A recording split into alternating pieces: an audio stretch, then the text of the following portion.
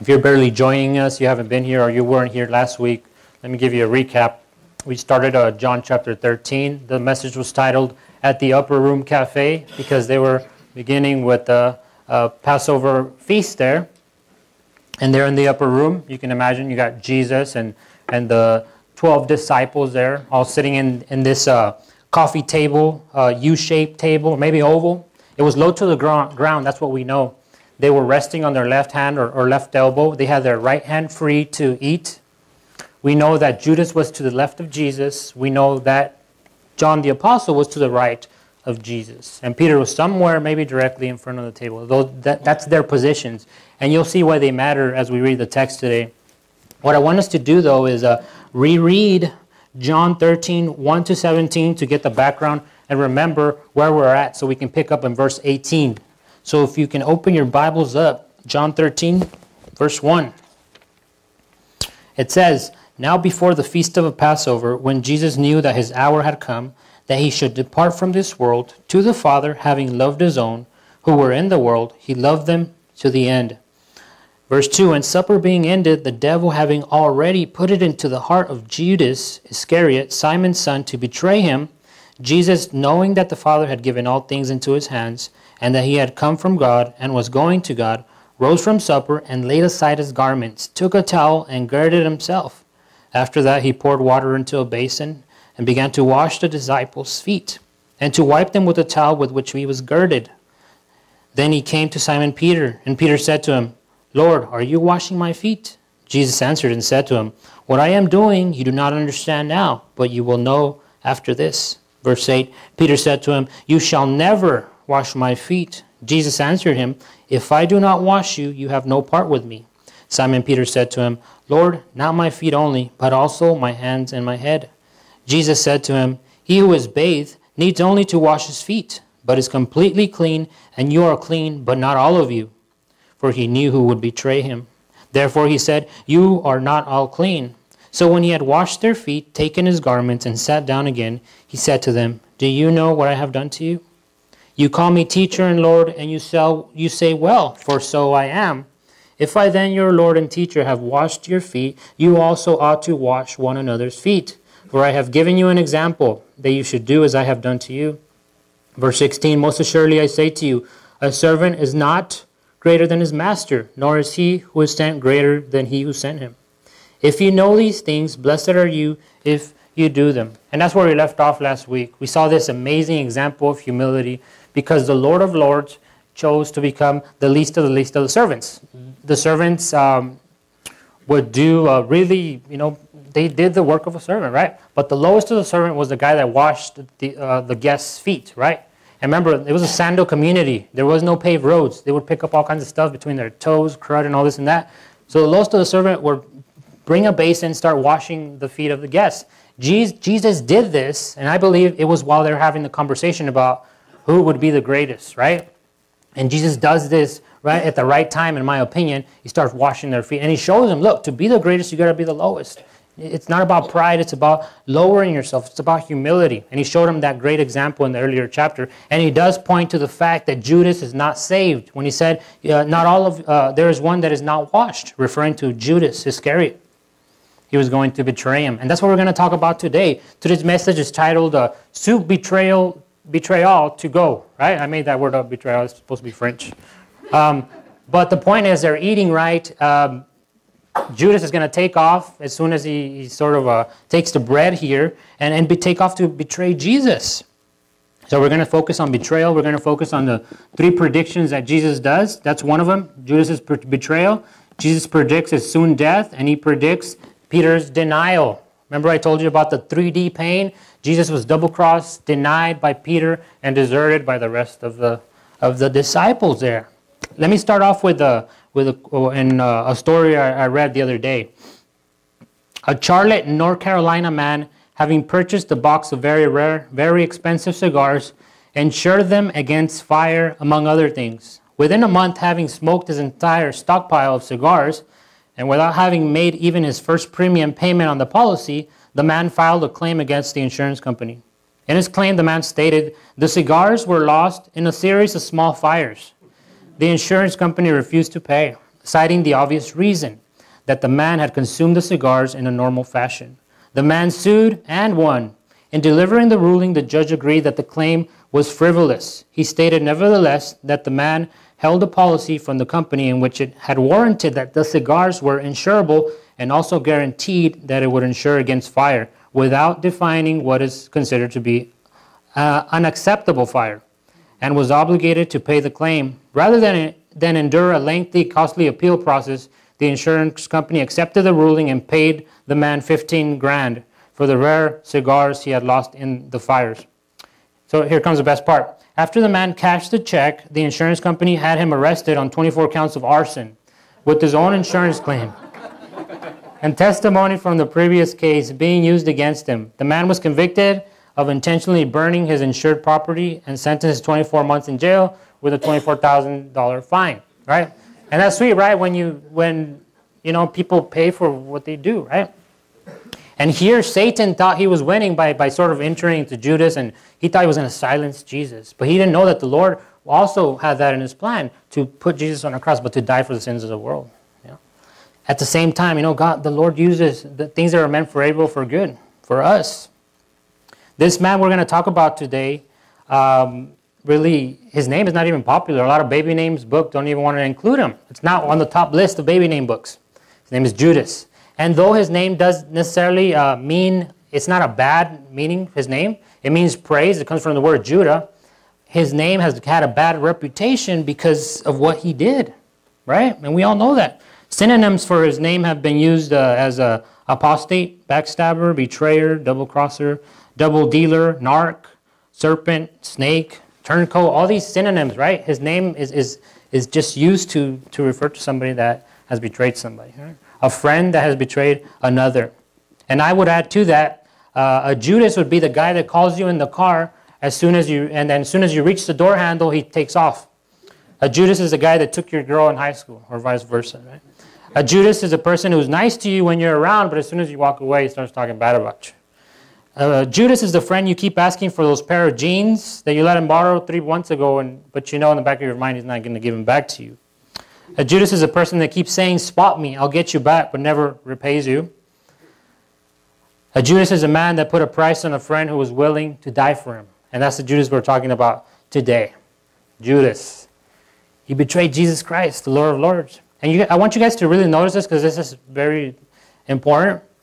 We see that Judas was also one of the guys that got his feet washed, okay? the Lord had Judas in a place of, of honor. It was his, his special guest because he was right next to Jesus as well. He was loving on Judas all the time. Je Jesus never really rebuked Judas. Look at verse 18. I titled uh, this section, verse 18 and 30, Biting the Hand That Feeds You. Verse 18, chapter 13 says, I do not speak concerning all of you. I know whom I have chosen, but that the scripture may be fulfilled. He who eats bread with me has lifted up his heel against me. He who eats bread with me. Remember, they're at the table now, and he's not specifying who it is, because everybody, everybody's eating bread with him. But he's pointing out that it is one of the twelve that was going to betray Jesus. He says it in this form. He says, has lifted up his heel against me.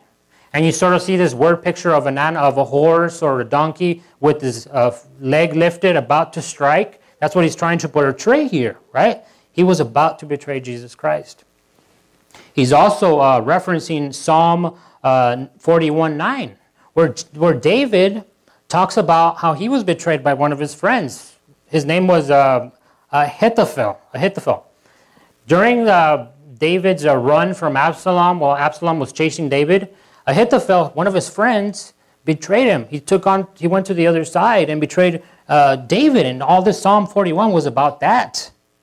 He says um, in the New Living Translation, Psalm 41 9, David says, Even my best friend, the one I trusted completely, the one who shared my food, has turned against me. And that's the same thing we see with Judas here. Another interesting thing I want to point out is that this guy Ahithophel, he hung himself as well. He did the same thing Judas uh, did. So the question is, so why did Ju Jesus choose Judas if he knew he was going to betray him? For one, one obvious reason we see here is that the scriptures might be fulfilled, as it says in verse 18, right? So Jesus was sort of laying it out for the disciples here. It was all prophesied. You got to go back to the scriptures and see what they. We got to be like the Bereans, you know, test to see whether these things are so. He was trying to comfort them. He was trying to tell them, "This is not catching me by surprise. There is no, there hasn't been uh, anything that has happened that's gonna get in the way of the purpose that the Lord has given me." Right? Verse 19 says, "Now I tell you before it comes, that when it does come to pass." you may believe that I am He. Right? Did they not believe that Jesus was the I am there? Did they not believe that Jesus was was uh, the Messiah? They did. But here the word believe in the in the the form in the Greek, how it is, it's it's sort of active. There's an active tense there, and it's sort of it's sort of saying that you might continue to believe. That's actually why the whole Gospel of John was written, that you might continue to believe. So it's not for new believers, not just for new believers, but also for mature believers that they may continue to grow in the faith. And this strengthens us, you know, prophecy. He's sort of revealing what's to come, and, that, and that's what the Bible does. It's prophecy. Things that it has, it has foretold, they, they, they tend to happen, right? And there are happening. Jesus fulfilled about 300 and some of them. Let's continue here. Another point I like to make is right here in verse 19 where it says that I am He. The He is not there in the original. It literally says that I am. So the same Jesus of the, the same God of the New Testament is the same God of the Old Testament. Jesus is God, Jehovah. Abraham Lincoln said, You can fool some of the people all of the time, and all of the people some of the time. But you cannot fool all of the people all of the time. Judas thought he was betraying Jesus as well. He might have had the rest of the guys fooled, but not Jesus, not the person he wanted to. Verse 20 says, Most assuredly, or verily, verily, if you got a King James, I say to you, he who receives whomever I send receives me, and he who receives me receives him who sent me. I think he's basically telling me, look, nothing's been thwarted. You guys are still on the mission, you know. The Father sent me, I sent you. You guys are still on the mission. I'm going to take off, but you guys are still on the plan.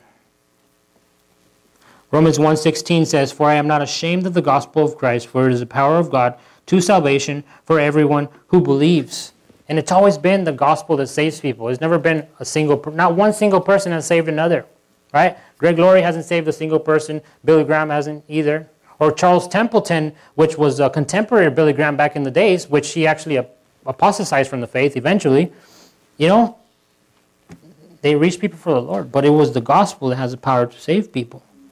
Verse 21 says, When Jesus had said these things, he was troubled in spirit, and testified and said, Most assuredly I say to you, one of you will betray me. Jesus is still on the point, and he started getting closer. He's giving clues. First, he said, It's one of you guys that are eating with me. Now he gets more specific. It's one of you guys. And you can imagine these guys just looking at each other, you know. Sort of like the game of clue there. So we see uh, in the earlier verse it says that, you know, that you might believe that I am. We see Jesus' deity there. But here in verse 21 it says that he was troubled in spirit, right? Jesus is also human, right? And he felt things we feel. He was hurt because Judas was a friend. He knew he loved Judas. He was going to die for Judas as well. Look at what Luke 22 21 tells us. But behold, the hand of my betrayer is with me on the table. Verse 22 in chapter 13 again. Then the disciples looked at one another, perplexed about whom he spoke. And Luke uh, tells us they began to question among themselves which of them it was would do this thing. In Mark 14:21 it says, "The Son of Man indeed goes just as it is written of him, but woe to that man by whom the Son of Man is betrayed. It would have been good for that man if he had never been born." So Mark tells us what John, Luke, and Matthew did not. Right? It was it would have been better for Judas not to have even been born. Right? Was God forcing Judas to, you know, had God made Judas betray Jesus? No. But God did know by his foreknowledge that Judas would have betrayed him. Okay, there is no forcing here. Judas has, you know, been moved by his own will. Now, verse 23. Now there was leaning on Jesus' bosom one of his disciples whom Jesus loved. Now it's believed that it was John the Apostle here. Okay? John the Apostle is being humble. He's referring to himself as the one that Jesus loved. Okay? He wasn't say, he wasn't boasting about how much he loves Jesus. Okay, he was boasting about how much Jesus loved him. He acknowledged that. The question I have for you guys and for me as well, you know, do I acknowledge that Jesus loves me? Do I believe it, right? Do I live like I believe it? And, and we see that John, John believed it. Another key point is that he was leaning on Jesus' bosom, so that's why we say he was to the right of Jesus. Because, okay, if you're, if you're resting on your left hand, and if Jesus is here, and if your head is next to Jesus' bosom, you can assume, okay, I'm to the right of Jesus. Also in a privileged position there. Look at verse 24. Simon Peter therefore motioned to him to ask who it was of whom he spoke. See, they didn't know yet, right? But Simon knew that John was next to Jesus, so he's like, hey, you know, he's probably texting him under the table. Tell him to tell you who it is, right? He's probably got his sword next to him, you know, so I can cut his ear off, right? That's how, that's how Peter was, right? He wanted to put a stop to, uh, to what was going on. He always went to the extremes. And he probably would have if we would have found out. Judas would have left there missing an ear. Let's continue here. Uh, verse 25. Then leaning back on Jesus' breast, he said to him, Lord, who is it? Verse 26, Jesus answers him, It is he to whom I shall give a piece of bread when I have dipped it. And having dipped the bread, he gave it to Judas Iscariot, the son of Simon. Now, this bread thing, this giving of the bread, was an Eastern way of, of doing a toast, okay? The guest of honor would get this, this piece of flat bread, and it was given to him by, by the host. That was a customary thing to do for the guest of honor that would come. Jesus was still loving on Judas. He loved him. We should love our enemies as well. And though we know we can't do that, do, do that by our own strength, we do it by the Holy Spirit.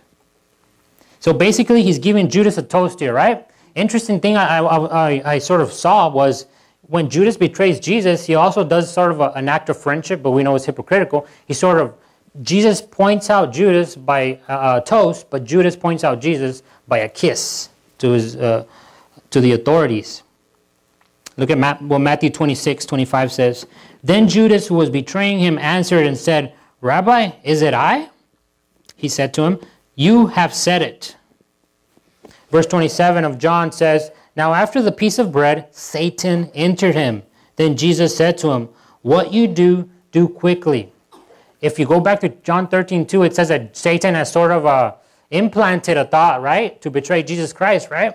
And now we see here in this verse, 27, that Satan entered him, right? You know, when people become possessed, non non Christians for that matter, is it, it's a gradual thing. Okay, for for people that are uh, uh, that are not saved, they have to be dabbling, you know, in occult stuff, uh, paganistic stuff, Ouija board, you know, all this stuff. You know, even drugs, pharmakia, all that stuff before the enemy even does anything. They have to give in, right? They got to give him a foothold before he goes in. And that's what we see here. It was a gradual process with Judas. His greed, right? He already had that sin in him. All the devil had to do was throw little thoughts in his head, right? And he ran with them. Eventually, we see here now that Satan entered him. The commentator Gaebelein says, once Judas left the room to seal his bargain with the priest, he would pass the point of no return. His yielding to the to selfish impulse opened the way to satanic control. And we know Judas was not a true believer, right? John 6:70 says, "I chose the 12 of you, but one is a devil."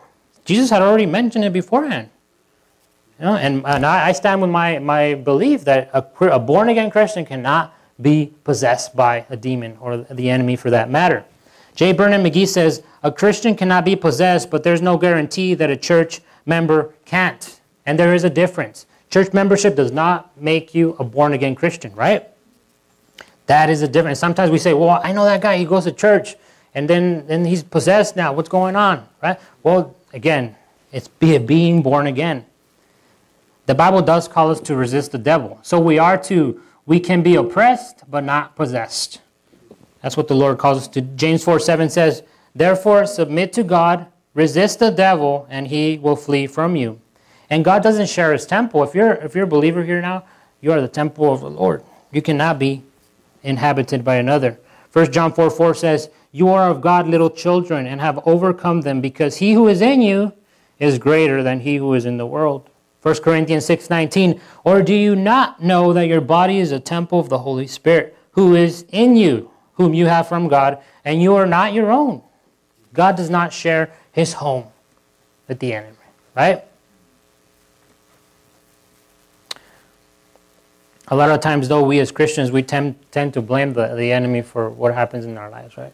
We say, the enemy made me do it. Right? Babe, I'm sorry. I did this and that. The enemy made me do it.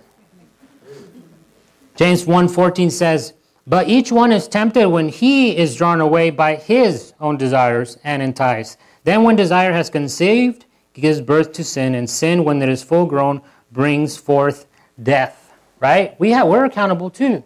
Greg Laurie says it's not the bait that constitutes temptation, it's the bite.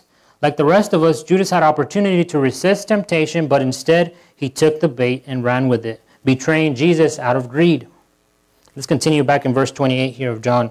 But no one at the table knew for what reason he said this to him. For some thought because Judas had the money box, right, he was in charge of the finances, that Jesus had said to him, Buy those things we need for the feast. Remember, the feast was a seven day thing. There was going to be more eating and uh, dining.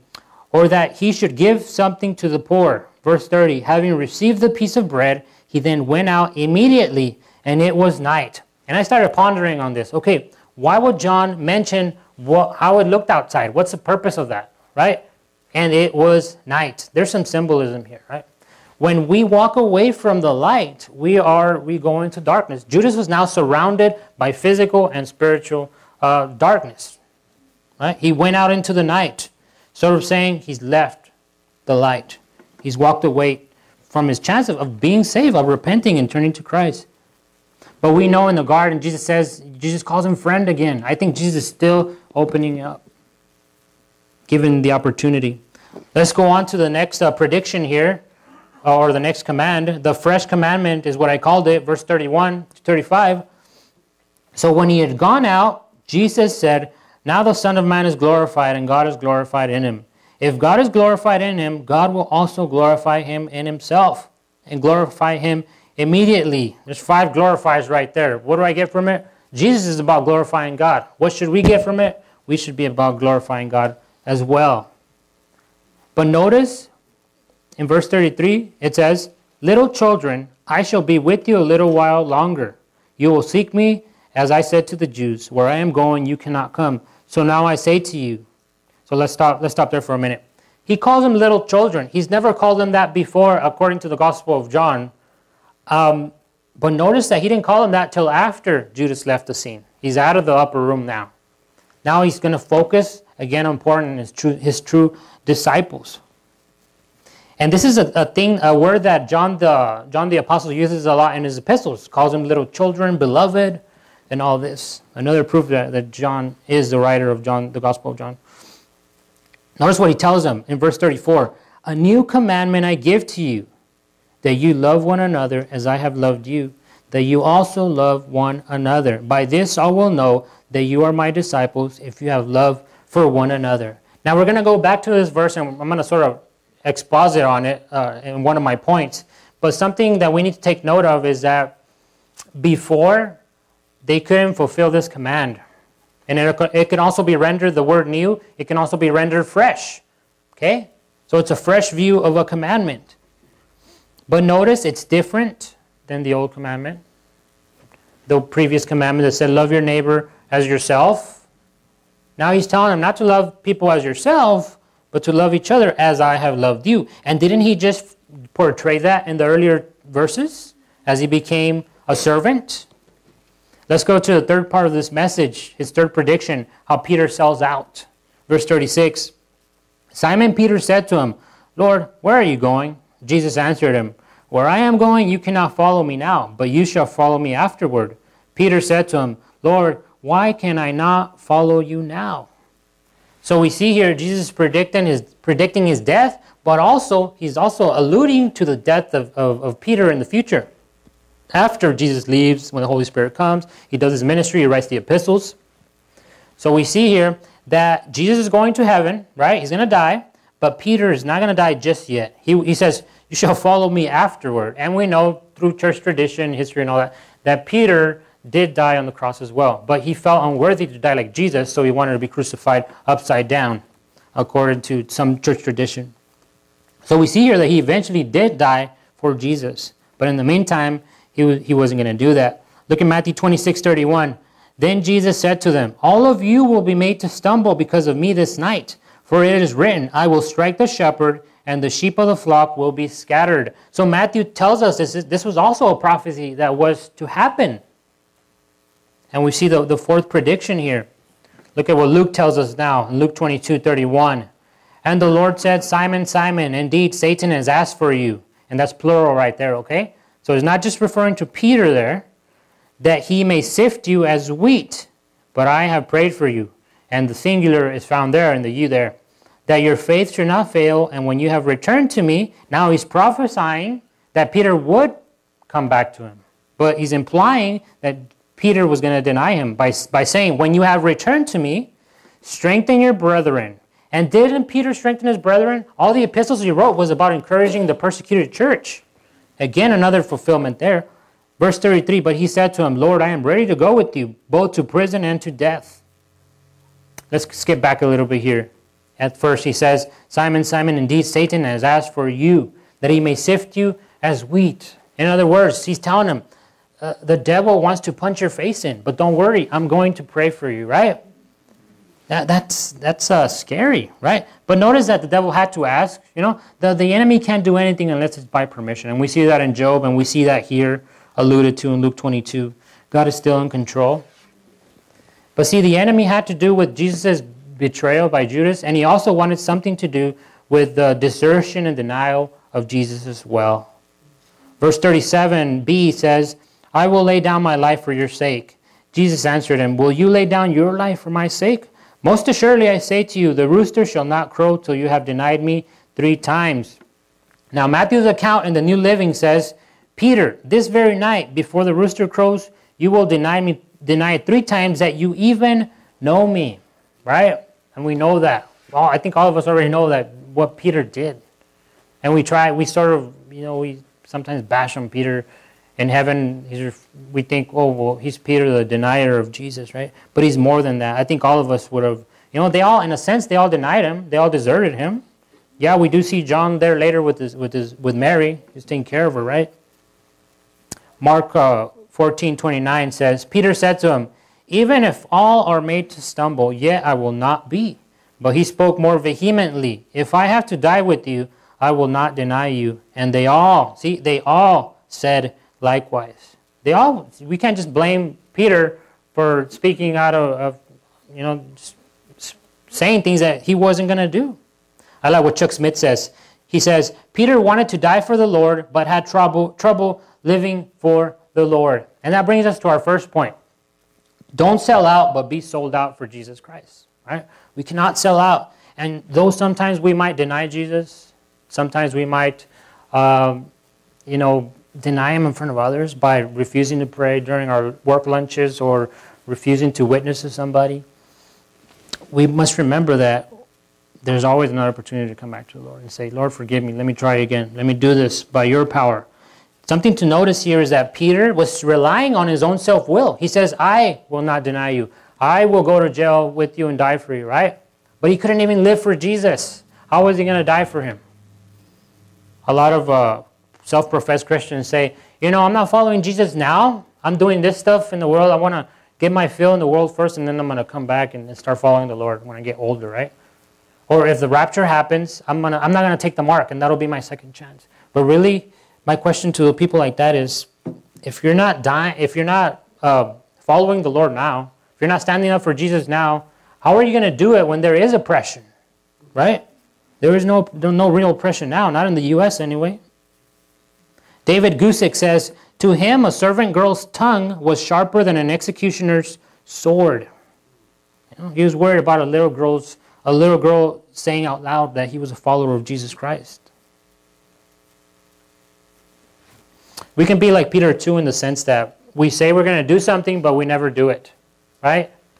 Um, sometimes I get these memes. If you, do you know what a meme is? Can you raise your hand if you do? Okay, a little bit. Okay, a meme is like a, a picture, right?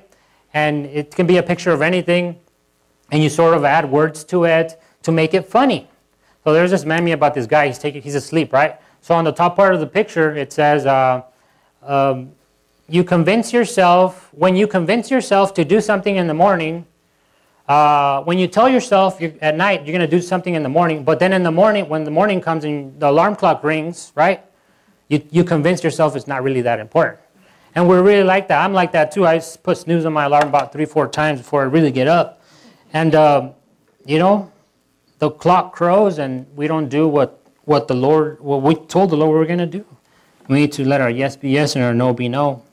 But how do we how are we supposed to be sold out for Jesus? I think Matthew tells us in six, chapter 16.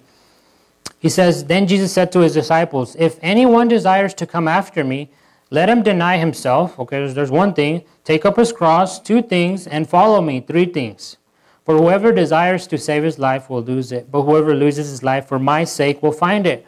For what profit is it to a man if he gains the whole world, or 30 pieces of silver for Judas, and loses his own soul? Or what will a man give in exchange for his soul? So the real question is to finish up this one point is what's stopping you from being sold out for Christ? And it's a, it's a different story with every person here. It's a different uh, story with me as well. You know, I haven't reached that point, but continually we need to just allow, give, hand things over to the Lord.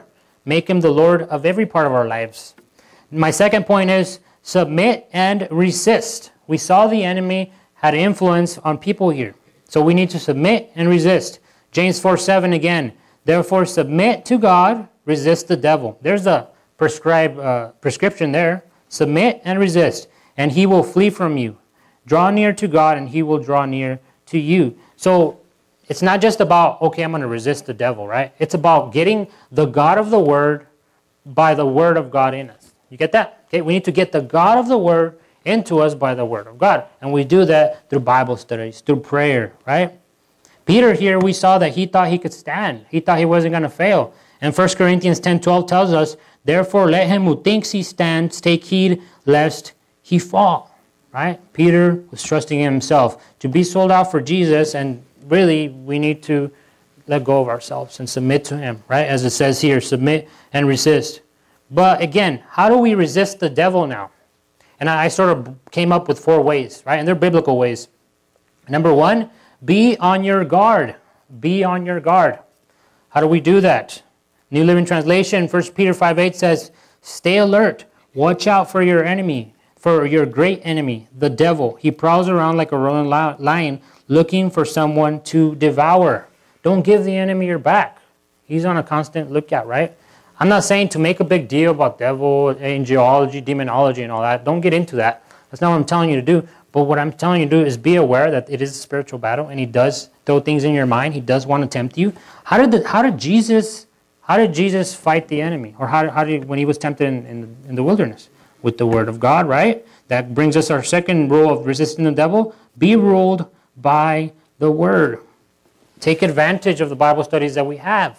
You know, if you think you're equipped to do teach a Bible study, well, start your own Bible study. When I started my first Bible study, I didn't, I didn't do it through Calvary Chapel. I just did it at my house. You know, I had several people come, and that went on for a while, and then I, you know, did it with Calvary Chapel. You know, and the Lord blessed both of them.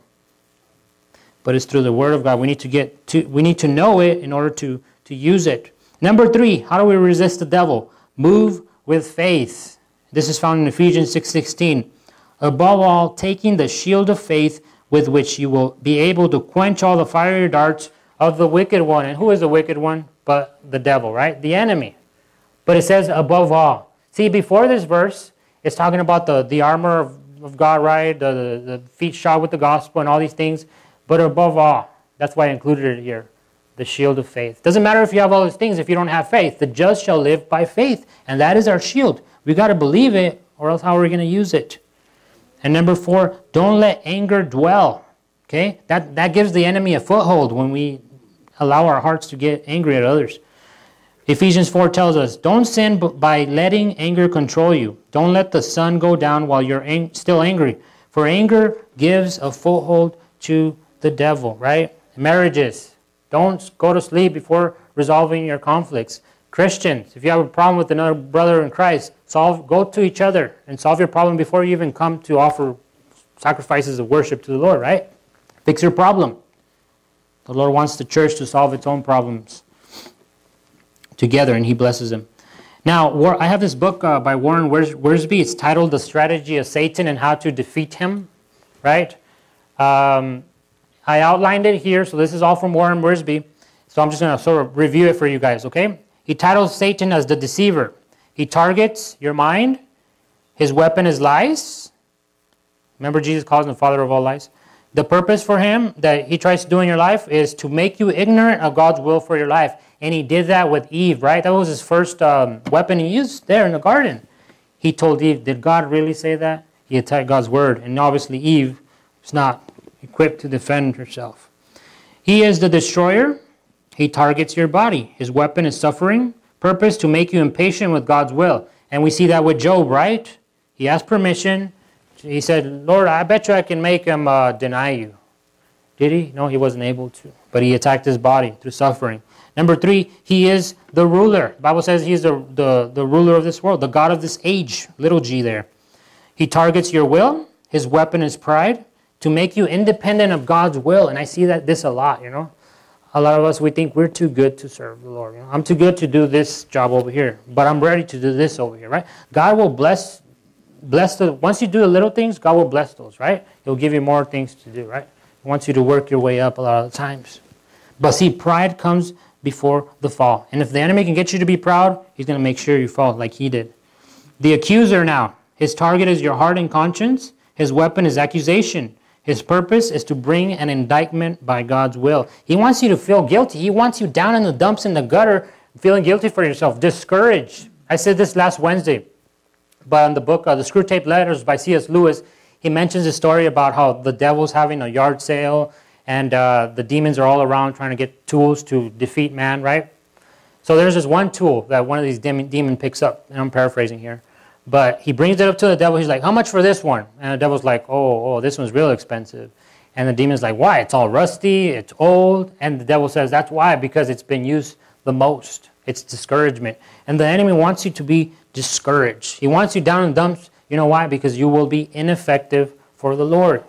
If he can't possess you, he's definitely going to make you, and wants to make you ineffective. So we see here our two points. We need to don't sell out, but be sold out. Submit and resist. And my last point to finish up here open and share a can of fresh love. So I want you guys to go back to verse 34 for a minute. Verse 34 A new commandment I give to you, that you love one another as I have loved you, that you also love one another. By this I will know that you are my disciples, if you have loved for one another. Now I have four things for this here too, and they're pretty quick because I already mentioned two of them. Number one, it's not the same love as love your neighbor as yourself. It's different. Jesus has raised the bar. Jesus uh, says, You must love others as I have loved you. And he showed it by serving others. You want to know how to love somebody? Serve them. Number three, our love within the church will be a testimony. Back to 35, verse 35. By this all will know that you are my disciples. If you want to be a, a, light for Jesus, one of the things you can do is not necessarily go out and witness, approach strangers in the streets, okay? Or be a prayer warrior, it's by loving the people around you in church, okay? Churches get a bad rap. You know, one of the main things unbelievers say is, I'm not going to church because there's a bunch of hypocrites there, you know? And one of the things I usually say is, you know, there's going to be a bunch of hypocrites in hell too, so why do you want to go there? You know, just go to church. There's hypocrites everywhere, right? This is a hospital. We talk about sin, right? We talk about healing. It's a, it's a hospital for sinners.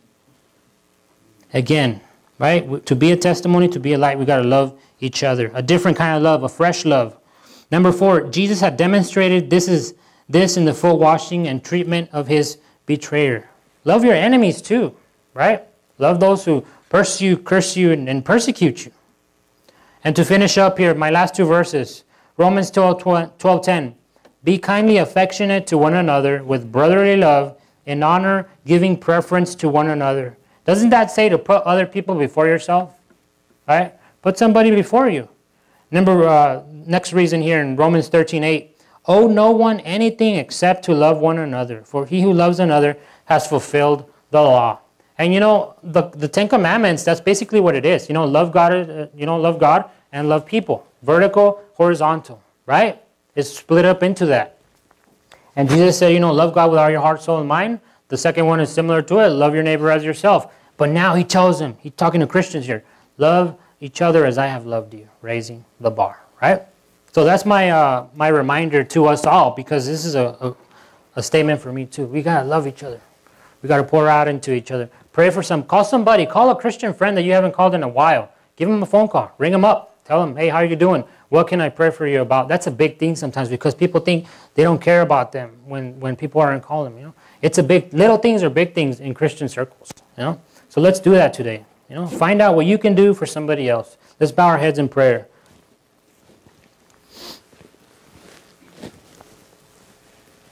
Father, I thank you, Lord, for this message. I thank you, Lord, for your word.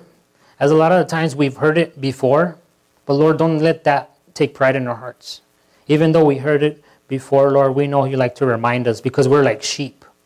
Or sometimes we're, we're, we're silly, Lord, and, and uh, we tend to, to forget things, Father God. We have a short attention span, and you need to remind us, Lord, by your word. So that's what we want to do, Lord. We just want to take all, all you've given us here today, Father God. Lord, I want to pray too. If there's somebody here today that doesn't know you, Father, somebody here that would like to accept you today, Lord, I pray that they will raise their hand today. If there's anybody out there, if you don't know Jesus yet, and you want to accept him in your heart today by simply saying that you believe what he did for you on the cross, that you know you're a sinner and you can't get to heaven on your own, if you're here today, raise your hand and you want to accept Jesus. Is there anybody here today? Amen. Father, we thank you, Lord, for this day. I pray, Lord, for all of us that we might be sold out for you. Lord, uh, use us, Father God, because we know your coming is quick. Lord. So we pray, Father God, that we might be used greatly by you before you come, so we, we may not be ashamed at your coming, Lord. Help us to worship you now in spirit and truth, Father. In Jesus' name, amen. Amen. Let's stand together.